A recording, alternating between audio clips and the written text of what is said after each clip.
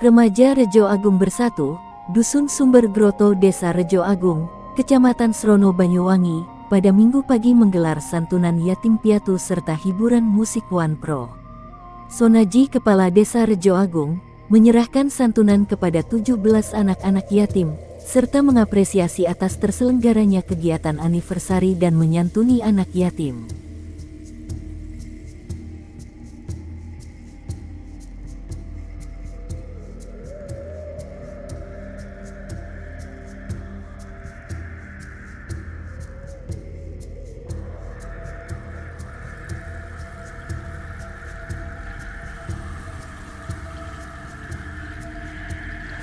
Kegiatan uh, anniversary teman-teman remaja Rejagung Bersatu uh, menghibur masyarakat dan juga santunan yatim piatu.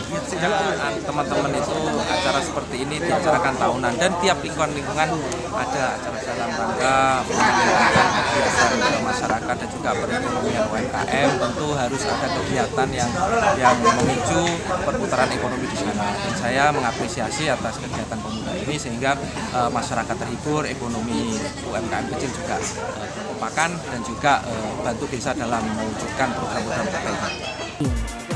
Sementara itu puluhan UMKM sangat antusias berjajar rapi untuk menjajakan dagangannya.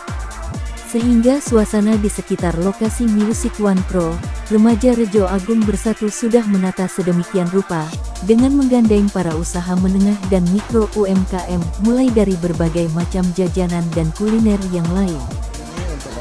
Ini untuk memperingati anniversary yang kelima tahun uh, remaja Rejo Agung Bersatu. Terus dengan ada kegiatan ini tujuannya dan maksudnya seperti apa? Uh, untuk tujuan utama kita membentuk satu komunitas pemuda desa untuk saat mempersatukan agar kompak dan rukun yang satu. Untuk yang kedua agar kita berguna jika ada masyarakat membutuhkan tenaga untuk para remaja dan pemuda. Dan yang selanjutnya ini hanya untuk memeriahkan dan memberikan hiburan kepada warga masyarakat sekitar. Apabila ini menurut warga masyarakat sekitar memang bagus dan layak untuk dilanjutkan, acara ini kan menjadi acara tahunan. Eh, sebagai ketua pemuda mungkin dengan kegiatan ini himbauannya seperti apa mas?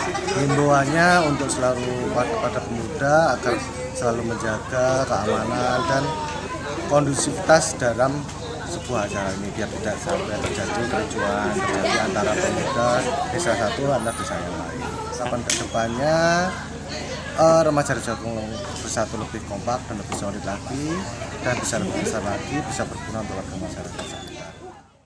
Ihsan Suryadi melaporkan dari Banyuwangi.